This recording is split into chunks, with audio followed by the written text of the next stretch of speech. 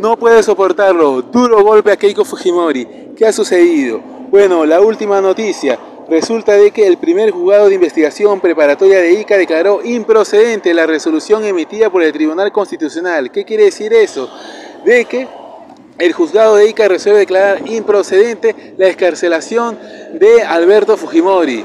Hay que recordar de que el día de ayer hubo un pronunciamiento de la Corte Interamericana de Derechos Humanos recordando de que Fujimori no debe ser escarcelado porque no cumple con los requisitos para recibir el indulto humanitario. Es decir, que este fallo del Tribunal Constitucional, que fue un fallo ambiguo, que no, no decía abiertamente de que se libera a Fujimori, pero le tiraba la pelota al juez penal de Ica para que él decidiera, bueno, finalmente este juez, presionado por la Corte Interamericana de Derechos Humanos, ha decidido eh, declarar improcedente la escarcelación de Alberto Fujimori, así que el ex dictador preso por asesino y ladrón no saldrá en libertad. Un duro golpe a Keiko Fujimori que había pedido la libertad de Fujimori, que incluso le había exigido a Dina Boluarte de que libere a su padre,